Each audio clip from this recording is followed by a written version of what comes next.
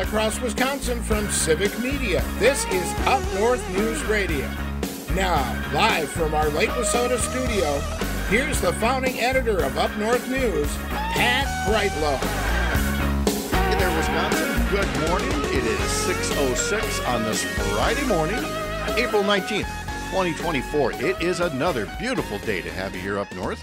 Live from Lake Wissota, from wherever you're listening, across the Civic Media Radio Network, through the app, through social media, by podcast. Nice to have you along on this Friday morning where you can join us, as always, at 855 75 Civic. It's 855 75 Civic. You can call it, you can text it, you can also email us, radio at upnorthnewswi.com, or put a comment on Facebook. We would love to hear from you, um, either by phone or by text. Just uh, shooting us a note saying what it's like where you are. Where are you? What are you up to this weekend? You know, something we ask Greg Bach every Friday about the Laughing Tap. We'll do that in just a second. First, uh, you you mad bro seems like a good title, and Greg loves when I try to sound street. Um, the, the folks who ter- termed the coin term. Now I got to bring Greg in so he can mock me on this. People who coined the term. You're doing snowflake. great. You're doing great. Oh yeah, yeah. Just give me a little bit more rope. I'll be just fine. I'm All right. Okay. The- Just trying to be here as a, as a friend you know, confidant and someone supporting you. But I appreciate that. All right, shall we do it again? yes, take two. The pe- the people who coined the term snowflake sure are quick to have a meltdown when you call attention to their actual record. We will look at Eric Hovde's attempt to again deny his own words about nursing home residents, their pending death, and voting. Uh, there was also some mock indignation from legislators who turned out to be at a fundraiser in Washington, D.C., instead of trying to find a way to clean up contaminated water in Wisconsin. Uh, we'll talk to uh, Keya Vakil, Courier Newsroom national correspondent, about the Trump trial this week. We'll talk to Mark Jacobs about media coverage of it, and we'll talk to former U.S. Attorney Jim Santelle in our second hour about the historic trial. And meanwhile, while Trump is on trial, President Biden is on the campaign trail. And so we'll uh, hear what Mark and Keya have to say about this week's events. Dan Schumacher will talk sports with us. Brittany Merlot will have the forecast. And right now, we've got temperatures at 6 a.m. across Wisconsin on this Friday that go like so. Uh, Lake Wissota here, we're at 36 degrees. Uh, then the rest of the state, kind of left to right, top to bottom. Hayward's at 32, Park Falls 31, Wausau 34, Green Bay 38. And then we head down to La Crosse 37. In Rapids, it's 34, Oshkosh 38. Down to Madison, it's 36, and it's 36 in Waukesha, where we find. Oh, wait, I introduced him already. Hi, Greg. How are you? Hi, everybody. I'm Greg Bach. So, um, Yeah. Did you listen to anything good on the radio yesterday besides, you know, the, the shows that you do? Did did I get an earworm stuck in your head by chance yesterday? No, I, I, that kind of stuff doesn't happen to me. I mean, just, I don't know what you're talking about, Pat. I just know that I, when I drive home, it's a nice, relaxing, soothing decompression. I am the lineman for the county. Oh my God, this is like a beer commercial. I love you, man. I love you. We're bonding as we sing Glen Campbell My together. dad was the lineman. it's still a great song. I told Pat I listened to this song no less than 20 times yesterday. I didn't do that yesterday, but I there have been times where I've played it like you know maybe five times. and just like Yeah. I just love this song, and Yeah. there it is again. So Yeah. you can you can keep your Taylor Swift. We've got Glen Campbell. Oh, I'm That's keeping my we- Taylor Swift too. She just released a new record today. Oh my goodness, I saw. Yeah. Um, look on on social media. The I don't have a lot of Swifties on there, but uh, Journal Sentinel reporter Jessie Opoien has to be one of the most prominent Swifties uh, in Wisconsin media, and apparently was it was a big deal that what's it called the Tortured Poets Department. Correct. I just it, it just I kept saying TPPD everywhere. That was one of the hashtags. But apparently, secretly, she dropped a second album. Apparently, it's, it's a double album with 15 more songs that she wrote. So, yeah, what, That's- what that's you what just heard us when- doing about Glen Campbell, other people are doing about Taylor Swift. I right now. mean, while and and Swifties come at me. This is this is, this is just the truth. When you look at like a, an artist like Beyonce or Taylor Swift, I love the amount of for the, as big as they are, they could put out a record every five years and people would be happy because that's kind of what like bigger, just not just musicians but like icon entertainers do. Like they got a lot of things going on. They don't have time to record. But like you look at it, someone like a Glen Campbell or Merle Haggard, it's like, oh, he released 40 records in three years. Oh my goodness, yes. I mean, the output was insane. Yeah. Um, but you were always trying to feed, you know, top 40 radio or Yep. top country radio, uh, and always looking for that next that next single. So you know, two different eras, but in, in both cases, you you like the output. I mean, I don't know. I can't conceive of coming up with 15 more songs for a Tortured Poets album, but uh, apparently uh, Tay Tay said in in releasing it that there were these things that she just couldn't get out of her head, and she finally had to get them out. Which takes me to somebody else who's got a lot of things in his head that he's got to get out. Uh, do you remember Tim Ramthun, the former Yes. assembly rep Yes. who ran for governor? Yep. S- special fella. He was kind of our version of the the My Pillow guy. Um, big time election denier. Uh, made an unsuccessful run for governor, which was rooted in the effort to somehow have Wisconsin revoke its electoral votes for President Biden, which is not a thing. Anyway, he he fell short in that run for governor, and now he's back on the public stage uh, running for office with this doozy of a campaign announcement, which I'm going to provide a dramatic reading of. Oh Uh, man. here we go. Oh, she got dramatic music. Yep, Tim Ramthun, uh, campaign announcement from yesterday. The voice of the people supporting me in public service has not faded. Of late, their wishes came true through the modification of Wisconsin's legislative maps. Uh, Ramthun then goes on to explain the new maps sometimes create party primaries, but he's not afraid of that. He writes, a multitude of expressions statewide, concentrated primarily within my residential area central to the 20th Senate District, demanded my re engagement of, by, and for the people has been overwhelming. Given that the voice of the people is the voice of God, their wishes have touched my heart. As such, with thoughtful discussion and deep prayer, it became crystal clear that action was required. To that end, I humbly announce my candidacy, Ramthun says, for Wisconsin's new 20th Senate District. He describes the sprawling new Senate district as, quote, a large area of citizenry seeking the capabilities and attitude about service that I know I possess and have proven with multiple levels in the public service arena. He then lists some of these qualities in all capital letters. He is a self described constitutional conservative, Christian values, principle conviction, fearless courage, fearless courage, unbridled passion to serve, exceptional communication and service skills, leadership skills that never waver to the status quo, a fighter for results, a public servant who embraces servanthood entrusted upon me by those I serve. I do so look forward to meeting and exceeding your expectations. And I read that and I read it again and I thought, where have I heard this style of speech before?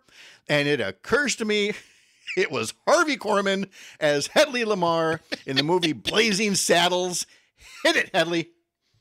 Rockridge. Rockridge. Be still, Taggart, be still. Yes, sir.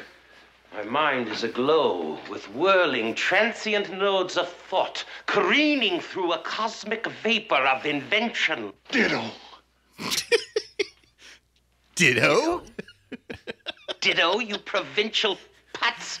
Oh, And never. You're not going to hear another dramatic reading of a campaign announcement quite like that one. I'm running for office because they didn't want me as governor, and I guess this will do. And to, to get there, he's going to have to uh, unseat a current Republican state senator who got drawn into his district, Senator Dan Feyen from Fond du Lac.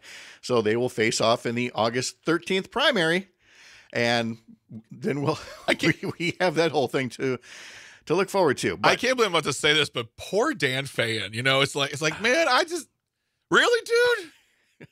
Can't have this, can I? All right, cool deal, Yep. bro. See you at the debates. It's gonna be weird. You you get Ramthun, and good luck on that. Hey, by the way, on the subject of election deniers, um, just one other quick headline to pass along on that front. A top official with the conservative group Turning Point Action has resigned in Arizona amid accusations of forging signatures on the paperwork that would let him get on the ballot to run for a seat in the Arizona legislature. Which is why I say again, everything from this group is either a projection or a confession. It just happens all the time. And so now we've got Tim Ramthun running. Uh, again, I'm sure still on election deniability is what he's going to give us. And I thought we were done with that. I hope he does the same thing that Van Wanggaard and Eric Hovde did, which is no, the 2020 election is over and I want to move on. But if I have to talk about it, I have some thoughts. I have I have this legal pad full of Yeah. things.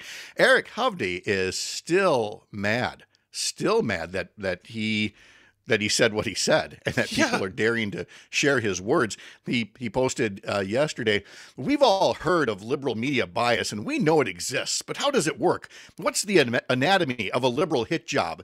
It's really pretty simple, but it can trick you if you're not paying attention. And through a series of tweets, he talks about the out of context quote, the liberal smear, the weaponizing of the lie. But here's the thing there was no out of context quote. There was the quote. There was the quote that said what it said. You said what you said, Yeah. which was, you know, you're only going to live five or six months. The life expectancy in a nursing home is five or six months. There were people that did not appreciate hearing that. That maybe we shouldn't be helping nursing home residents to vote. And yeah, just- he was also trying to make the point that there may be something fraudulent going on, again, without any proof whatsoever.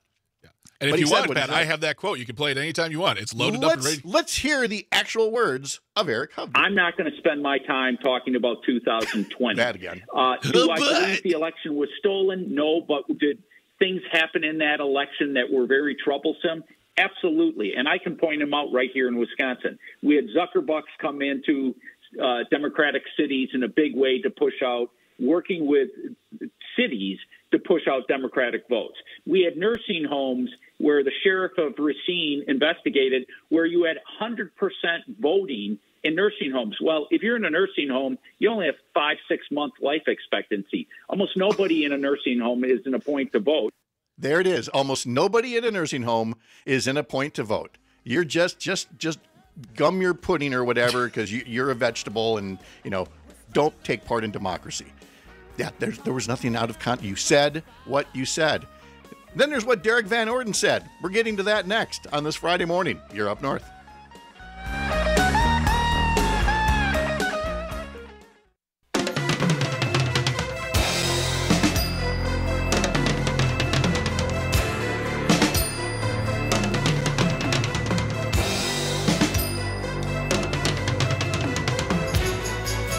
Sunday marks the eighth anniversary of the passing of Prince, and so we're going to play a, a little bit from uh, Paisley Park uh, throughout the morning here. But we will not, of course, forget uh, the passing of Dickie Betts from the Allman Brothers Band. We'll get to that in today's history lesson in just a sec.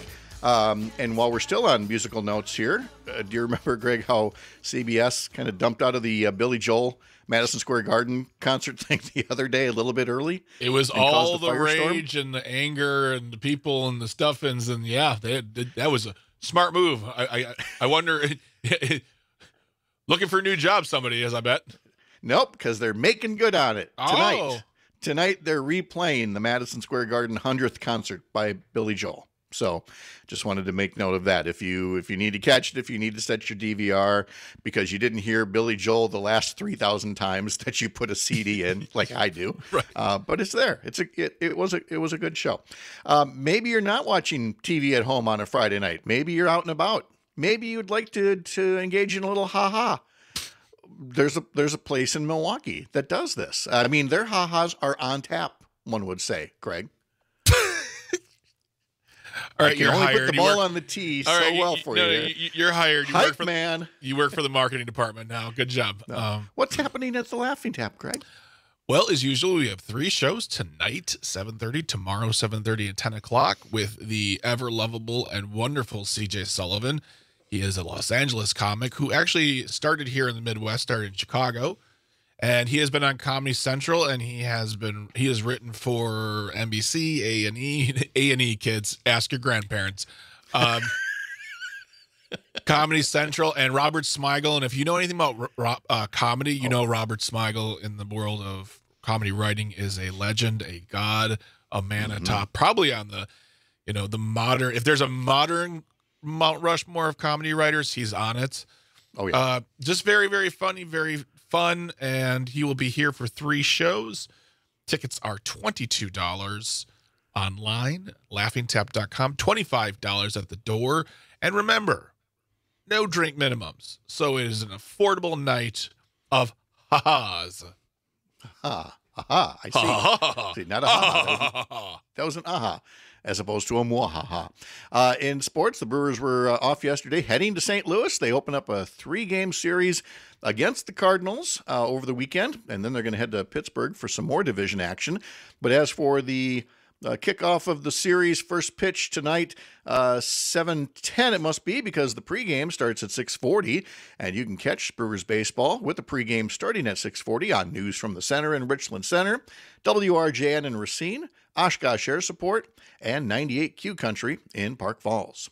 Meanwhile, the Milwaukee Bucks will finally open their playoff journey on Sunday, playing the Indiana Pacers.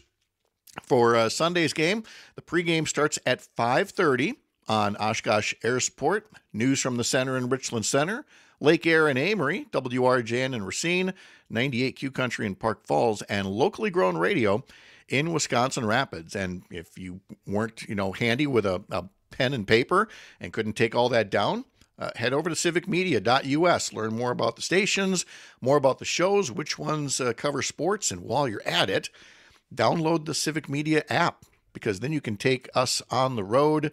Uh, you can listen live through you know your your car speaker, through Bluetooth, or through a connection. Uh, all of these things available to you through the app. Head over to wherever you get your apps or civicmedia.us. All right, I'm calling up uh, the Friday morning daily newsletter from Up North News that Christina Laurie puts together. And she, see, let's see, let's see. She says the Dane County Farmers Market gets all the hype, but there's another farmers market in that part of the state that routinely tops national rankings. And she's talking about the Beloit Farmers Market, which apparently is very highly rated uh, through online. And uh, there's also a, a link to a list of America's top 10 farmers markets. But frankly, again, pretty much anywhere in Wisconsin, you're never that far from a farmer's market. Uh, get out there and enjoy some of what is uh, produced out here all throughout the spring and summer.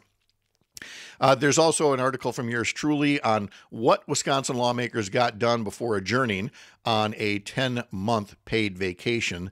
So, again, head over to upnorthnewswi.com, click on newsletter in the top banner, and uh, get yourself subscribed to our newsletter.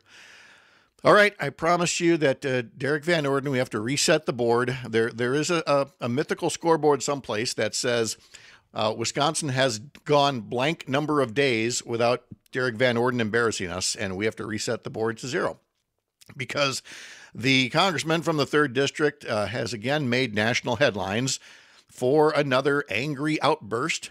This one on the floor of the U.S. House of Representatives. What's different this time is the target.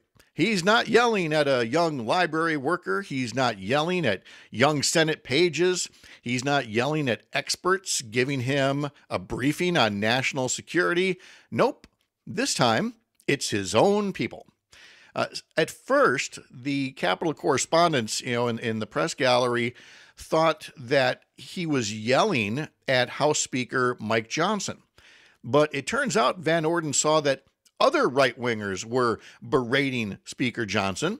So he went over and berated them and, and said that they are this small faction of extremists is essentially hijacking the rest of House Republicans. At one point, uh, Florida Congressman and future inmate Matt Gaetz uh, called Van Orden a squish. Van Orden thought that that meant he was calling him fat. So he responded by calling Matt Gaetz tubby. And that's what got reported throughout the press. Uh, not sure if he was yelling at Johnson or Gaetz. It later turned out it was Gaetz. And I'm sure it was explained later to Derrick Van Orden that squish in that context was not about his waistline. It was Gaetz accusing Van Orden of not being MAGA enough. But again, our great thanks to Congressman Derrick Van Orden for helping show off what passes for decorum these days in the one ring circus that is the Republican House majority. Did I see correctly uh, that Aaron Rodgers has uh, again been repeating some kind of a conspiracy theory uh, regarding? I mean, it, it, dates back to like the the 1980s. Um, it it conflates some old stories with new stories about the vaccine. Uh, I I made a note to look for it, and I didn't know if you'd already heard about it or not, Greg. We talked about it on the show on Matt and Air on Air a couple days ago. Uh, okay. Now he is saying that the government Here. created AIDS. The government created AIDS, and what he's really trying to do is he he's really just trying to tie that now to Fauci because Fauci, of course, worked for the government back in those days as well, mm-hmm. and he said uh, the blueprint, the game plan was made in the 80s to create a pandemic with a virus that goes wild. That's that's you know that's how doctors uh, described AIDS back in the day. It was killing thousands of people. It's going wild. It's yeah. um, so and his whole thing is like, oh, first it was AZT and now it's this drug. It's like, yeah, because medicine because science advances, evolves, and we make yes. new things. You mm-hmm. absolute moron. Yeah. Uh, I am just, I, I, saw that and I thought, no, do we again? And yeah, he, because he keeps getting a stage for this. And so, of course, you know, he's not the only one. You've got presidential candidate Robert Kennedy Jr., who's talking along these, you know, conspiratorial lines. And did you see that the entire, I mean, entire Kennedy family has now endorsed Joe Biden? Oh, yeah. Yep. Ra- rather than their own member. Yep. Uh, and I think we're understanding why more and more yep. each day. Keya Vakil coming up next. You're up north.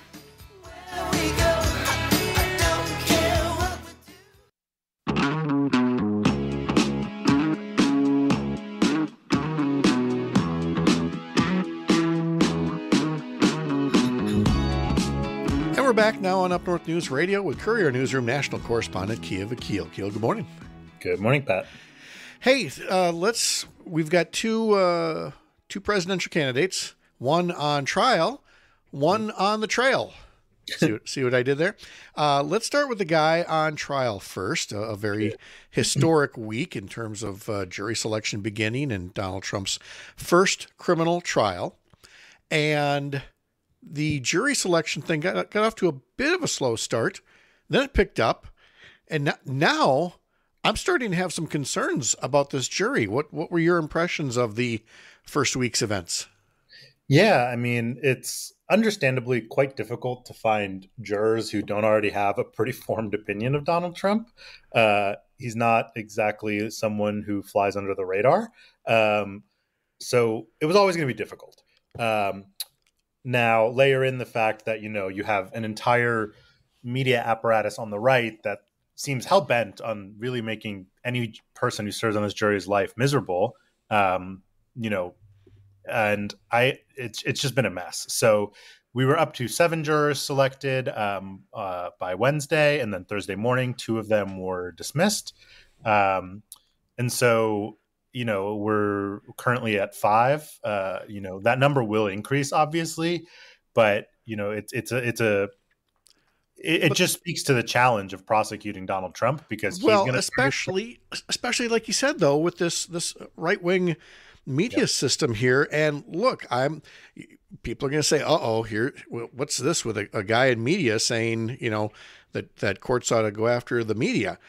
Uh, look, if you're Fox News, of course, in quotation marks, and you're all but giving the name of yep. one of the jurors uh, I don't really know how the judge in that case doesn't try to do something. Maybe the only option is to sequester the jury, but again, we're not at that point yet. We're at the point of of Trump friendly media outlets trying to identify them in a way to intimidate them or get them to to pull themselves off the jury. That maybe it's an isolated thing, but God, Keya, that just it, it just looked so bad. Yeah, and uh, we should also be clear it's not you know fox news and the right are the ones you know using this information to try to interfere with this case but we saw a lot we saw the new york times identify a lot of pretty specific details about some Yes. of these folks. and so you know which raises a question of you know what what are what are what are reporter like this is a really a question of media ethics like what is it actually important to you know convey information about who juror number four is like Mhm. if it could put them at, in danger or at risk of harassment. Uh, i would vote no but you know the folks at the new york times and some other outlets out there might feel differently. And you know i do worry that you know we're they are revealing so many specific details that it will not take very long for folks on the internet to identify these folks and harass them. And so there really is you know something to be said about you know trying to maintain anonymity for these jurors because we know what Trump's base does. They did January 6th. They target judges, they target Democrats, they target Republicans sometimes. So um, re- reporters really ought to be careful here. Uh, without a doubt. And again, the the the freedom of the press and the freedom of speech does not mean you can't occasionally police yourself and engage in responsible actions. I will certainly be asking Mark Jacob about this in our next hour as well, because better better to self police than again to have you know courts or, or somebody do it for you. But let's look ahead here. Uh, at the time when when you know the first seven jurors were picked, the judge was saying you know opening arguments could begin as as soon as uh, this coming Monday. My question isn't so much about that; it, it, it's gonna it's gonna happen. My question is, eh, will it take opening arguments for the former president to stop you know getting drowsy when these things are happening? Uh, again, I'm a I'm a little surprised that um, you know the the judge didn't call this out more than you know members of the media did. Yeah, I, I mean, I don't know. This is Trump is a guy with a famously short attention span who really has an obsessive need to be in control and be controlling the dynamic of whatever environment he's in. So this is very much new to him. He is not used to being at the whims of the criminal justice system, having to follow orders from a judge. Um, so he like clearly struggling to stay awake, struggling to remain interested. Um, and so I, I don't know. I, would hope that you know at some point he is able to remain awake and alert, but you know the trial will proceed regardless. So. This has to be the longest, though, that he's ever had to just sit still and listen because he was famous during his presidency for not wanting briefings and he'd interrupt the, the briefers all the time. And here he can't do any of those things. So I, I bring this all up to say that not just the drowsiness, but he, he did get chided once for, for murmuring or muttering or something like that. That I think I think even with the opening arguments from you know from the uh, the government attorney, you know from the state's attorney there, uh, I don't know that the guy's going to be able to help himself, and so I I think we're going to be talking about this a week from now as, as well. Uh, we're not. I don't think a week from now we're going to be saying, "Wow, he really just sat there and and paid close attention and everything." That's I don't think that trial this trial was ever had a prayer of sounding like that. No, definitely not. Uh, this is also this sort of situation, and there could be four trials this year, are seem specifically designed to be Donald Trump's hell of just sitting and listening to other people talk and not being really able to talk himself. Um, but he is definitely going to interrupt. He's going to say some stuff. It's not going to be like he's not going to behave well. He has never done that a day in his life. No. So we'll uh, we'll follow that as we head into the new week and see if the opening arguments take place or not. So from uh, Trump on trial to Biden on the trail, you get to spend uh, some time in Pennsylvania. Uh, tell us some of the, the themes that he's been hitting this week. Yeah, so uh, Biden uh, did a three-stop tour through Pennsylvania this week, where he was in Scranton, you know, famously, which is you know where he grew up, um, and then uh, Philadelphia and Pittsburgh. Um, really focused. He really focused on you know economic and tax policy, and you know making you know talk like letting voters know that you know this year is going to be a choice between you know the way he put it was Scranton values or Mar-a-Lago, values. Um, you know the president, President Biden, has passed a whole suite of legislation over the past, you know, three four years that has, you know, lowered healthcare premiums for people who get uh, marketplace insurance. Uh, it's lowered insulin costs. Um, it's you know funded the IRS to go over after wealthy tax, you know, cheats. Um, you know, in contrast, during Trump's term, his big, you know, accomplishment, quote unquote, was his tax cut, which mostly helped corporations and the wealthy. And so, this is the message Biden is talking about on the trail. Um, he's really trying to draw a contrast between the two on the economy. And then, you know, we also saw him. Uh, he's going to put in. He's been putting. He announced more tariffs on Chinese steel and aluminum imports while in Pennsylvania. Um, and this is also, you know, a big. That's a big deal in Pennsylvania. It's a big deal elsewhere. Um, it's an effort to sort of prevent just a glut of Chinese steel and aluminum being dumped on the U.S., which you know obviously harms U.S. steelmakers and U.S. steel workers. And I think uh, as well, trying to again make the case to uh, you know middle class families, working families, families that have anything to do with manufacturing, for example, that uh, the president was looking to make a distinction uh, on his values toward workers, talking about picket lines and things like that, versus Trump's record on workers, which uh, you know one of your colleagues had a story about that this week. Yeah, I mean, we've seen Trump pretty cynically try to completely reframe his record. And he's been doing this for years, to be clear. He's tried to position himself as you know a fighter for the working class, um, and with unfortunately with some success there. A lot of voters do think he's more about workers. Um, but you know, this is a guy whose labor department uh, made it harder for eight, uh, I believe it was eight million workers to get overtime pay. They lost eligibility. Um, this was a guy who blocked the raising the minimum wage to fifteen dollars an hour. He rolled back rules that you know basically would have he, he implemented changes that made it easier to award federal contracts to companies that repeatedly viol, violated sexual harassment laws, racial discrimination laws, wage laws. Um, you know, he it it just doesn't stop. He promised he would protect jobs in Lordstown, Ohio, um, but that GM plant, you know, shut down. Um, he said he would re- renegotiate a better NAFTA. Uh, that did not exactly happen. He's attacked unions. Um, he made it easier to offshore. It just goes on and on and on. Um, and you know, we can't expect voters to know every single policy that someone's done. That's not. I don't know every single policy everyone's done, but you know, when you actually look at any semblance of his record, it's none of it is pro worker, not a single thing uh, which now just takes me over to, to Florida when you talk about workers. And we're going to go to one of the guys who had hoped to be the Republican nominee, the alternative to Trump, and that would be Ron DeSantis. And boy, when you think about anti worker moves by politicians, it's hard to top, top this one, Keya, where in Florida, it's it's now, is it illegal to, for, for what, for local governments to mandate water breaks for, for workers? When water breaks? And heat breaks. Um, and heat breaks. So you know, in Florida, Florida, in Florida, famously very humid, can be very warm. Uh, summers there can be pretty rough. Um, Florida's a big state. It has a lot of folks who work outdoors, whether in construction, agriculture, tourism, and you know, the state government is obviously deeply conservative, but they're not only you know not require they're not only not helping workers they are making it impossible for local governments to pass legislation or ordinances that require companies to give their workers heat and water breaks so that you know they don't die. Um, we've seen workers die from extreme heat from dehydration. We've seen workers just get really sick. And we've it's just we know and we know with climate change getting worse that these sorts of breaks can be the difference between life and death.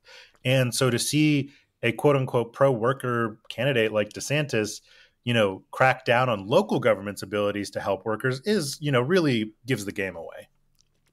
Uh, Keya, there's there's you know this uh, running joke that uh, well, it's become a running joke here in Wisconsin about how for years and years uh, Republicans, when they weren't in power, were like, well, we're we're the party of local government, we're the party of local control, and then as soon as they got into office, they couldn't work fast enough, this legislature, over the years, to over and over again um, basically veto any local government initiative to have a better minimum wage or uh, you know some of the other things that they could have uh, mandated. And they said oh no we at the state government know best. But i never thought i'd see it happening with water and heat breaks for workers outside. Again, to say to a local unit of government, no, no, no, the state government knows what's best. Uh, it's just stunning to see what what the party once said versus what the party stands for now that they're in charge of state government.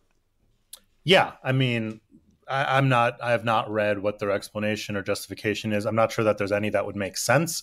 Um, you know, whether it's, but you know, at the end of the day, this is a government that's obsessed with wokeness. It's that's obsessed with taking away people's rights to abortion. That won't expand Medicaid. That you know is refusing federal dollars to feed kids. Like it's just they're not interested in actually improving or protecting people's lives. It's just it's just nonsense. Uh, meanwhile, in a case getting back to the Biden administration of, of somebody that does want to do that, uh, there's been has there there's been some new movement on student loans. I know the president came to Wisconsin last week to talk a bit about student loan debt.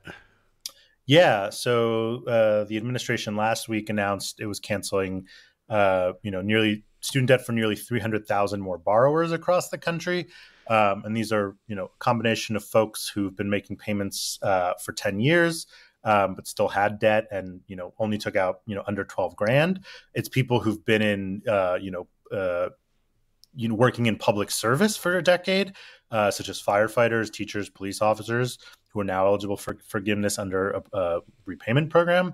Um, and this is just the latest, you know, effort from the administration to, you know, cancel student debt um, in sort of a piecemeal fashion since the Supreme Court blocked the more wide-ranging plan.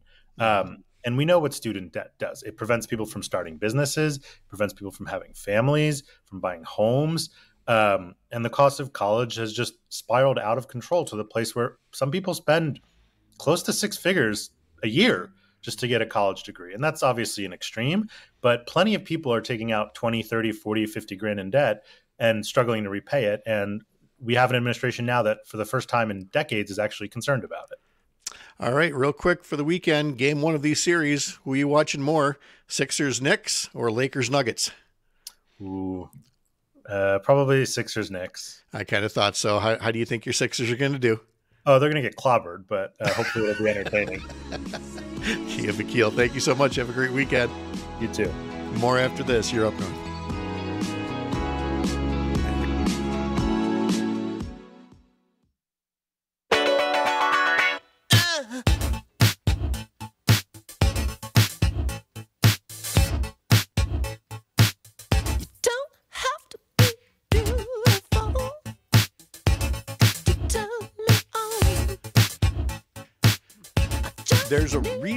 Why we like when you listen to civic media through its many fine radio stations around Wisconsin. But if you do get a chance to watch us on social media, you'd be able to see things like perhaps the best lip syncing impression of Prince singing Kiss that you'll see this morning between 6 and 7 o'clock in the morning. Uh, Prince topped charts with Kiss on this day in 1986 and Sunday marks eight years uh, since his passing. So that was one tribute, when I saw it. I was like, no, they're wrong. Yep.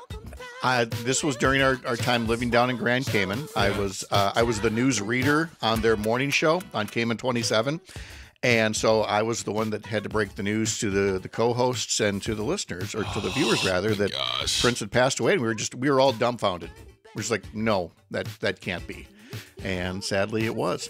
Uh, but we, as we've done in the past, we have to have a little fun with the song because, of course, it's it's a classic. Yeah. By Prince, but somebody else made it a classic as well. So in tribute, we offer up the version of Kiss done by the one, the only, Tom Jones. You don't have to be rich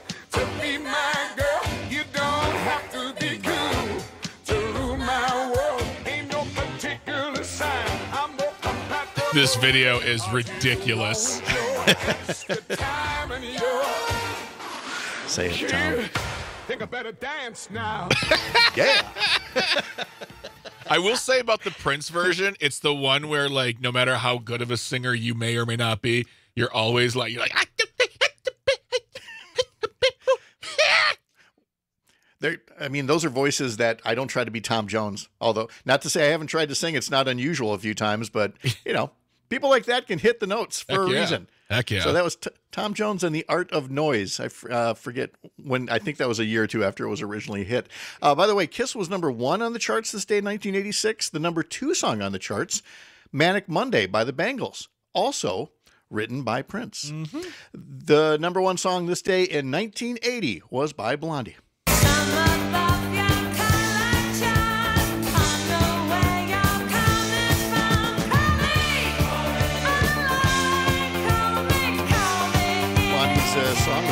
Was featured in the movie American Gigolo, again number one this day in 1980. On the birthday list, Simon Cowell from uh, American Idol, 72 years old today. And now what's, What? what's the one he's on? America's Got Talent. Yeah. Yeah. But um, and then Ashley Judd, 56 today. Actress Kate Hudson, 45. Uh, actor Hayden Christensen is 43. Perhaps best known as playing Anakin Skywalker. The number one hit this day in 1974 was by the group MFSB. Their song was TSOP.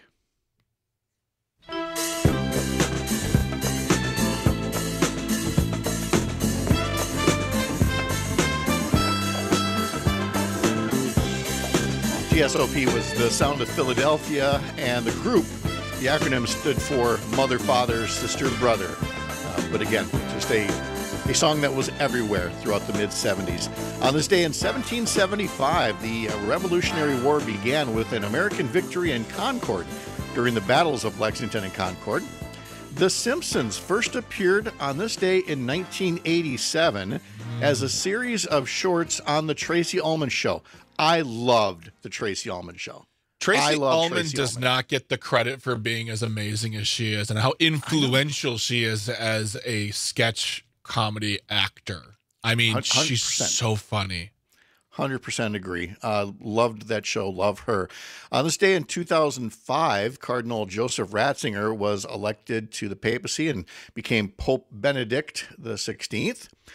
And we can't let the uh, the day leave if we're going to talk about. We've talked about um, you know guitar legends of, of rock and roll uh, with Prince. We've talked about uh, Glen Campbell earlier in his guitar playing, but you have to note the passing of Dickey Betts uh, at the age of 80.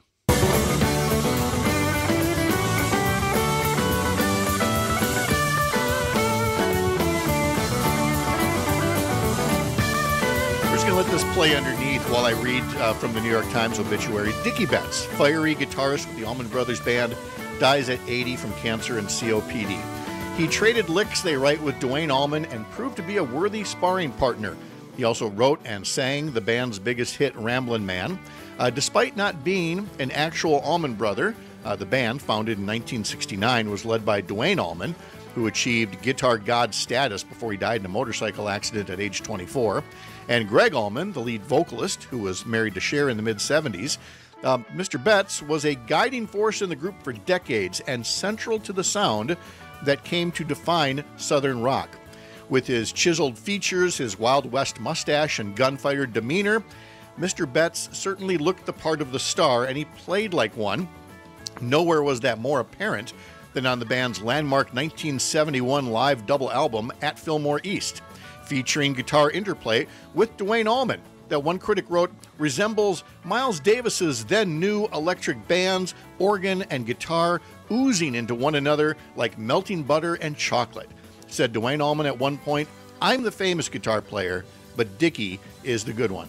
Dickey Betts passing away at the age of 80. We visited Capricorn Studios in Macon, Georgia, where uh, the Allman Brothers recorded a lot of records, and uh, that spirit's alive there. That that feeling, that that history is really really prevalent in that space. Uh, I I believe it, I, and I again, you know the the uh, was it the Righteous Brothers that got you know the the Rock and Roll Heaven that was them their their song. Yeah. uh, yeah. And if there is, they you know they've got a hell of a band. Yeah, it just keeps getting that band keeps getting better all the time, but it's it's our loss along the way. Today is National Garlic Day, and I can't let the day pass without mentioning uh, the greatest garlic dish ever invented is at Mona Lisa's, the restaurant on Water Street in Eau Claire. They do a roasted garlic tomato chutney appetizer with Cambozola cheese that is life changing. It's Chef But- Kiss. Yes. Oh, totally chef kiss. Uh, but by the way, you, will the next morning be able to scrape the ooze off your cheek uh, from all that garlic and cheese that you've had, and uh, you may not you may not feel at your best, but you will totally say it was worth it. It's so good. Uh, today is also Refresh Your Goals Day, which is a kind of way of saying you failed. You know, it's your New Year's resolution, but get back up, Bucko. You can you can start over today. This is National Amaretto Day, National Poker Day, National Cat Lady Day, Dog Parent Appreciation Day. Greg, happy yeah. day to you. Uh, National Hang Your Laundry Day and Sylvester the Cat Day for some reason from the cartoons. Coming up in our second hour, we'll talk to former U.S. Attorney Jim Santelle. We'll also talk to Mark Jacob about this historic first week. Uh, former President Donald Trump on trial. Dan Schumacher will talk sports. We'll talk a little weather and more headlines coming.